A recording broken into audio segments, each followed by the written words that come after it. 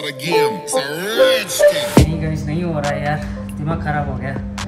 हल्की से भी टाइट नहीं हो रहा है। शायद मुझे सर्विस सेंटर जाना पड़ेगा फैज भाई क्या बोल रहा है? सिक्सटी साठ साल का हो गया अभी तक शादी नहीं हो रहा बोल रहा है तो। साठ साल? है। हाँ अस्सी साल हो गया अपन अस्सी हो गया। अभी तक शादी नहीं हुआ? अभी नेक्स्ट तीन बच्चा है शादी नहीं। तीन बच्चा है शादी नहीं हुआ।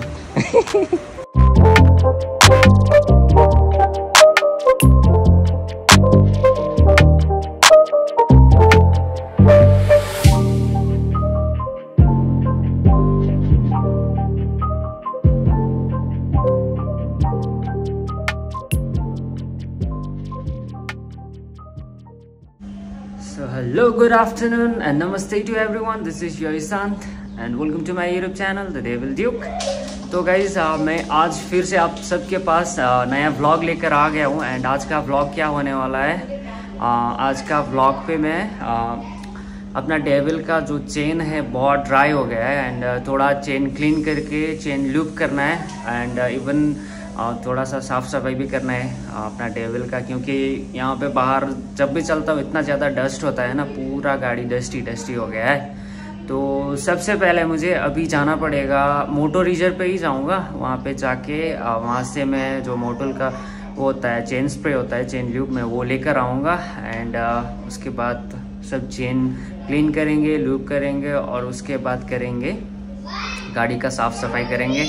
तो गाइज़ अभी निकलते हैं so stay tuned okay so guys let's move let's move okay guys तो मैं निकल गया हूँ अपना पार्किंग से एंड रोड बाहर हाईवे पे भी निकल गया हूँ। तो चलो गाइज़ मैं पहुँचने वाला हूँ मोटो रीजर अभी। बस यहाँ से थोड़ा सा आगे पे ज़्यादा दूर नहीं है। एंड गाइज़ एक बात मैं बोलूँ आप सबको, मैं मोटो रीजर मतलब वो जो चेन स्प्रे है। ल्यूब खाली वो ख़रीदने के लिए नहीं जा रहा हूँ। वहाँ पे मेरा दूसरा काम भी है। आ, दूसरा काम क्या है बोले तो आ, मैंने जो हेलमेट लिया था एमटी का जो आप सबको भी पता ही है मैंने वीडियो पे आप सबको दिखा दिया है वो वाला हेलमेट का क्या हुआ कि जो वो चिक पैड्स होता है ना उसका चिक पैड्स मतलब लेफ़्ट साइड का पूरा निकल जा रहा है। अगर तुम मतलब आराम से पहनो भी ना तो वो एकदम निकल के बाहर आ रहा है। इसीलिए मैंने उन सबको फिक्स करने के लिए बोला। उन सबने फिक्स करके भी दिया मुझे। फिर भी निकल रहा है। फिर भी सॉल्व नहीं हुआ वो बात। वो इसीलिए वो जो हेलमेट है रिटर्न करने के लिए आ, पावर स्पोर्ट्स जो है आ, उनका ईमेल पे ईमेल करके बोला था। आ, कि हेलमेट डिफेक्टिव है इसका ये जो चिक पैड्स है वो निकल जा रहा है अंदर फिक्स नहीं हो रहा है अच्छे से। तो उन्होंने टिकट नंबर भी रेज करके दिया मुझे ईमेल किए थे। एंड आफ्टर दैट फिर उन लोग ने बोला कि ये जो चिक पैड्स निकल रहा है वो वाला जो डिफेक्ट वो डिफेक्ट नहीं है आ, तुम फिर से एक बार वहाँ पे जाके फिक्स करवाओ नहीं तो एच एस आर लेआउट है जो यहाँ पे बेंगलोर पे। एच एस आर लेआउट पे जाके वहाँ का जो स्टोर पे आ, जो वहाँ पे जो एक्टिव एग्जीक्यूटिव जो काम करते हैं वहाँ पे वहाँ पे जाके उन लोग के साथ बात करो वो लोग फिक्स करके देगा बोला। एंड मैंने बोला कि हाँ जी मैंने तो कर लिया है वो सब तो मैं कर चुका था पहले ही। तो फिर से मैंने बोला कि हाँ मैंने ये सब कर लिया है। तो उन्होंने फिर फिर से मतलब ईमेल आया है मुझे कि अभी टिकट रेस फिर से नया टिकट रेस किया है एंड शायद कल परसों नहीं तो आज भी ले जा सकते हैं वो।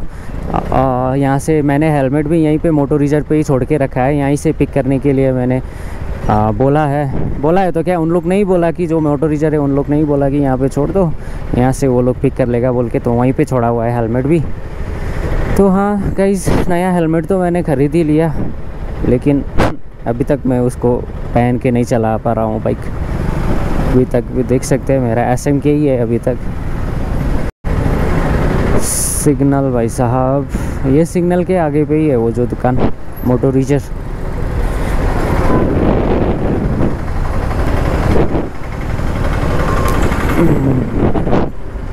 सब। भाई साहब सिग्नल तो खुल गया देखा था। हाँ तो खुला है। आज अपना टेबल को पूरा चमका डालेंगे चमका डालेंगे। देखिए ना गाइस इतना ज़्यादा धूल उड़ता है ना। अगर बाइक को अच्छे से धो के साफ़ करके रखा अभी तो दो दिन पे, दो दिन चलाया तो पूरा धूल धूल हो जाता है। इसीलिए आज मैं अपना डेविल का क्लीनिंग्स करने वाला हूँ। तो चलो गाइस मैं पहुँच गया मोटो रीजर यहीं पे है।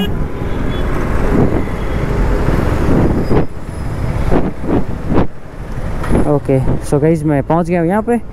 तो चलो जाके मैं पहले आ, वो सब ख़रीद लेता हूँ एंड उसके साथ बात भी करता हूँ उसके बाद मिलते हैं गाइज़ ओके गाइज़ हाँ तो मैंने यहाँ से जो अपना सामान लेना था वो ले लिया एंड यहाँ पे ज़्यादा टाइम वेस्ट ना करते हुए मैं सीधा निकल रहा हूँ अभी यहीं से, क्योंकि जाके साफ़ भी करना है ना गाड़ी को, इसलिए मैं थोड़ी देर बात किया उन लोग के साथ कि मतलब हेलमेट का क्या हो रहा है। तो अगर आज कल पे नहीं हुआ अभी तो नेक्स्ट वीक कंफर्म हो जाएगा बोल रहे थे मे भी हो जाएगा फिंगर क्रॉस फॉर दैट अभी यहाँ से मुझे लेना है लेफ़्ट टर्न कहाँ से? नहीं लेफ़्ट नहीं राइट लेना है।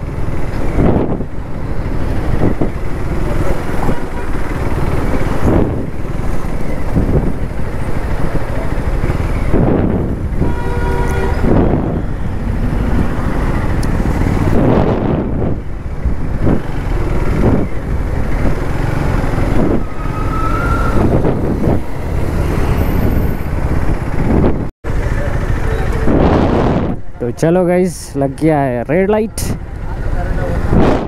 मोटो रीजर वहाँ पे है. चलो गाइस खुल गया है सिग्नल भी. यहाँ पे फंसा हुआ था. जैसे मैं मोटो रीजर से निकल के वहाँ से आया ट्रैफ़िक पे फंस गया. अभी खुल गया है. चलो चलो चलो. भागो भागो भागो, जल्दी भागो जल्दी भागो गाइस तो गाइस पता नहीं, शायद ये हफ़्ता आएगा कि नहीं. अपना नया वाला हेलमेट खरीद तो लिया पहन नहीं पा रहा हूँ यार। दुख लग रहा है बहुत ज़्यादा।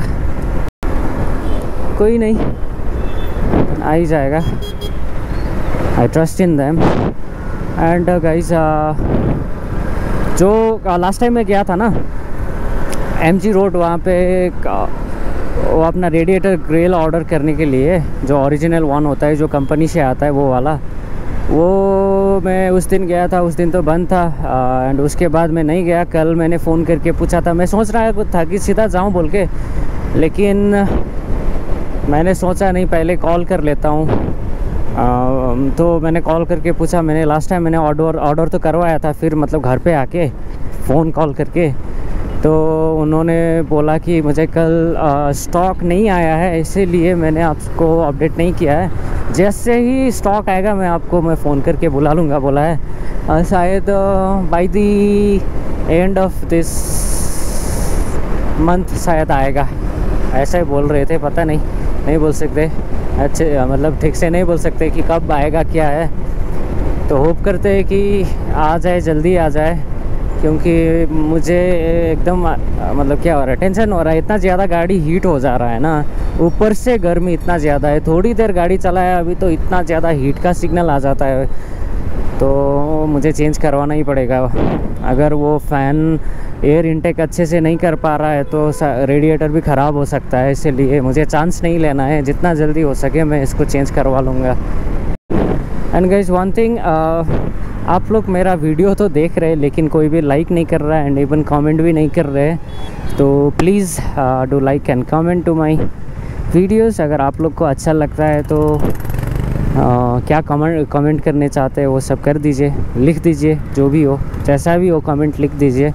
I appreciate for those comments and please subscribe भी कर दीजिए मेरा चैनल को uh, क्योंकि हंड्रेड परसेंट में से एट्टी परसेंट जो अनसब्सक्राइब लोग हैं वो देख रहे हैं मेरा videos and subscribe to once twenty percent देख रहे हैं।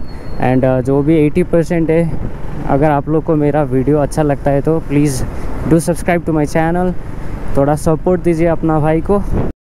अभी मैं पहुँचने वाला हूँ गईस तो अभी सीधा जाके आ, पहले मैं शायद ऊपर जाके वो सब गाड़ी साफ़, अपना टेबल साफ़ करने के लिए, कपड़ा वो सब मैं लेकर आऊँगा एंड uh, उसके बाद मिलते हैं नीचे जहाँ पे मैं अपना टेबल को रखता हूँ।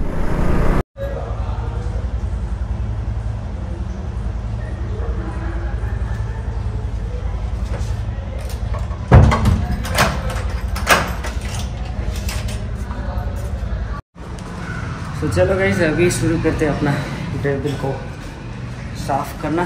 तो ये देखिए माइक्रोफाइबर क्या बोलते हैं इसको? टावल और एक छोटा सा मैंने टोपी लेकर आया जो मैं यूज़ नहीं करता, साफ़ करने के लिए। तो चलो बाइक को मैंने बाहर ही रखा है। बाहर मतलब पूरा बाहर नहीं, मैंने रखा है यहाँ पे। तो शायद मैं यहाँ पे ही करूँगा साफ़ तो चलो गाइस स्टेडियम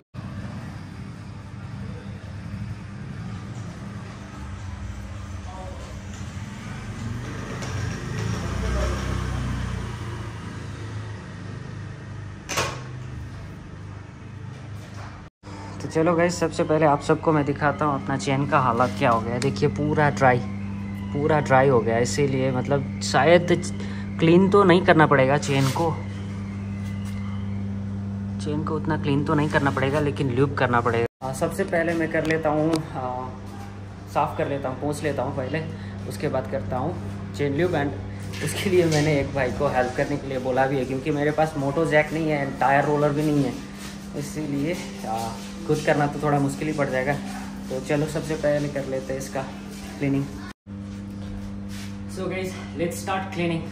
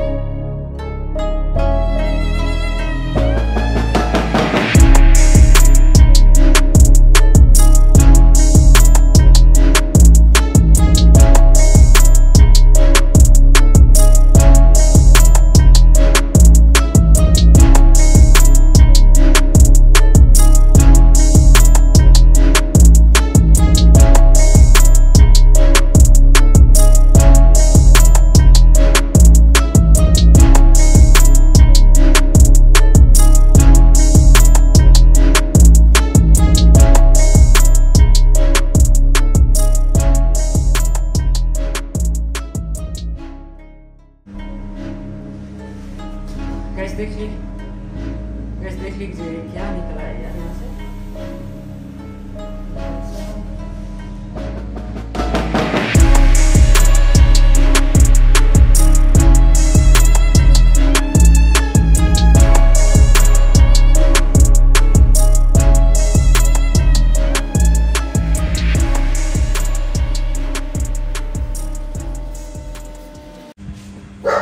गई मैंने पूरा गाड़ी का जो बॉडी है वो सब तो मैंने पहुँच के एकदम साफ़ कर दिया है।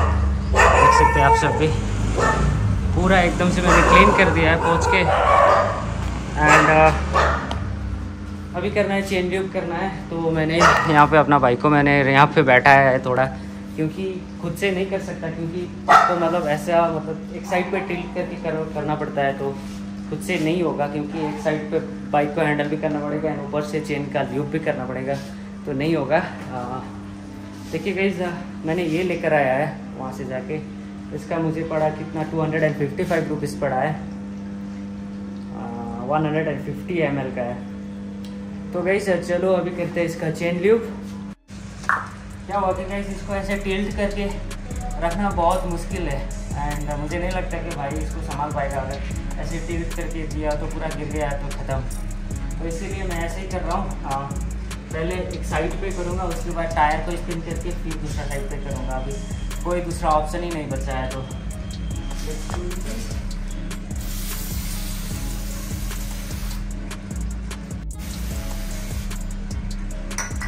ऐसे कर लिया।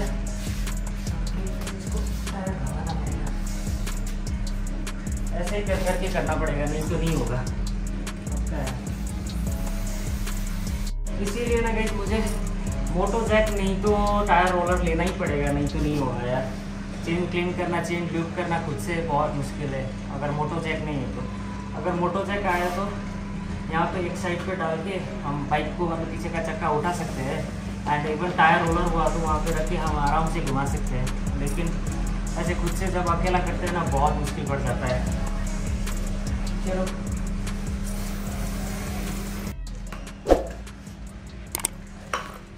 और मैंने जैसे कि मैंने बोला कि चेन क्लीन करने का ज़रूरत नहीं था।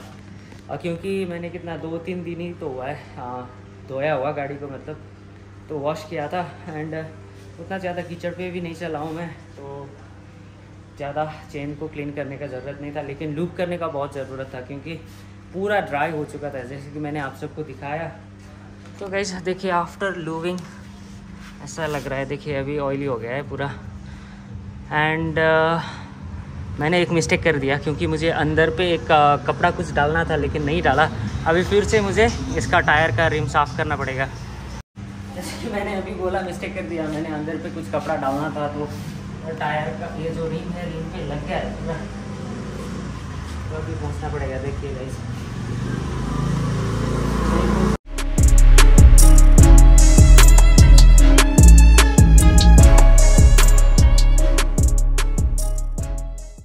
ओके तो गाइस हो गया बस इतना ही है। आ, अभी थोड़ी देर इसको ड्राई करने के लिए छोड़ देंगे। अभी चला आया तो फिर से धूल मिट्टी पकड़ लेता है इसको थोड़ा ड्राई होने में। देना पड़ता है। तो चलो इसको अभी यहाँ पे छोड़ देते हैं। एंड एक बात क्या है, जो मेरा कौन सा साइड का फेयरिंग था? ये राइट साइड का जो फेयरिंग है, यहाँ से ये बोल्ट निकल आया है। पता नहीं क्या है। अभी मुझे इसको फिगर आउट करना पड़ेगा कि ये क्या है। तो मैं इसको खोल के देख लेता हूँ, क्या है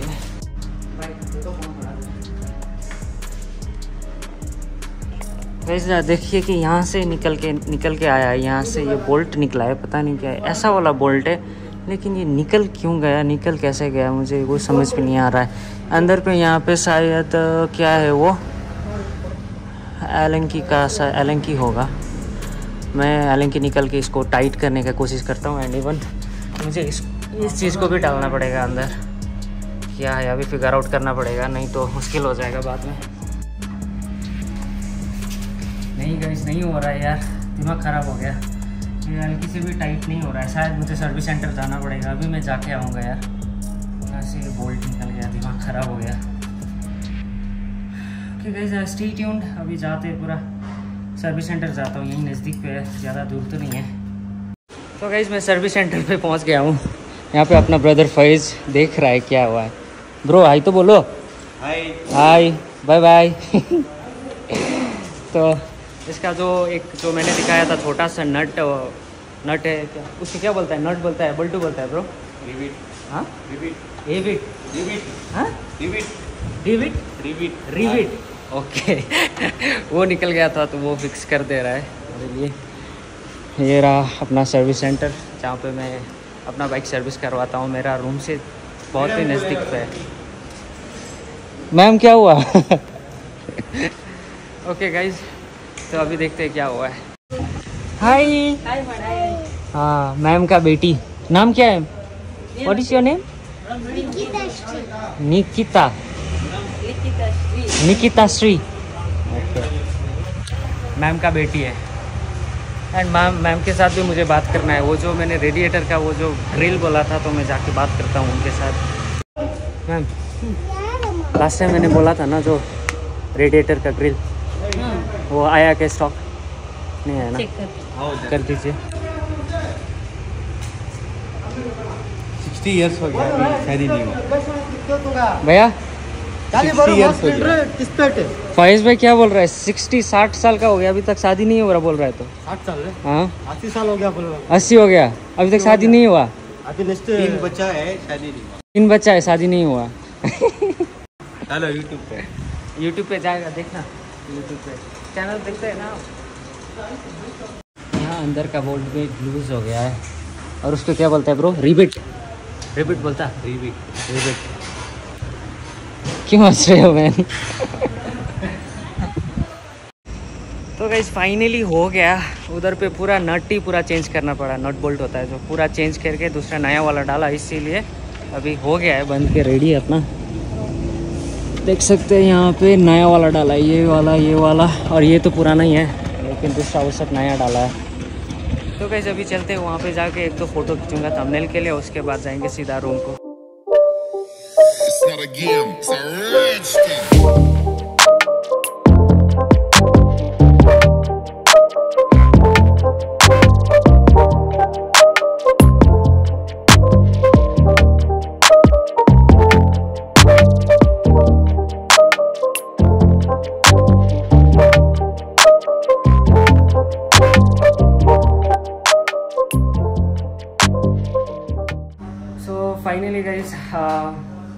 भी कर लिया बाइक को साफ़ भी कर लिया एंड छोटा सा इश्यू मिला मुझे फेयरिंग का जो नट बोल्ट होता है वो पूरा लूज हो गया था एंड एक तो गिर भी गया था मतलब नहीं मिला मुझे यहाँ पे एंड सर्विस सेंटर पे जाके फैज़ ने पूरा काम कर दिया एंड uh, वहाँ पे एक दो नट बोल्ट नया खरीद के डालना पड़ा बस इतना ही। एंड गाइज़ देखिए अपना टेबल यहाँ पे।